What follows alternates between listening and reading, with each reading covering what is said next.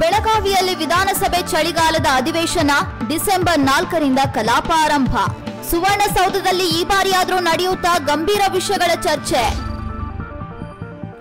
ವಾಹನ ಸವಾರರ ಸಂಕಟ, ರೋಗಿಗಳ ಪರದಾಟ.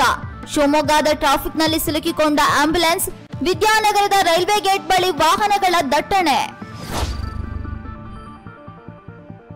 ಫೈನಲ್ಗೆ ಲಗ್ಗೆ ಇಟ್ಟ ಟೀಂ ಇಂಡಿಯಾ. ಮುಂಬೈನ ವಾಂಕೆಡೆ ಮೈದಾನದಲ್ಲಿ ಶಮಿ ಸುನಾಮಿ ಕುತೂಹಲ ಕೆರಳುವಂತೆ ಮಾಡಿದ ಫೈನಲ್ ಕಾಳಗ.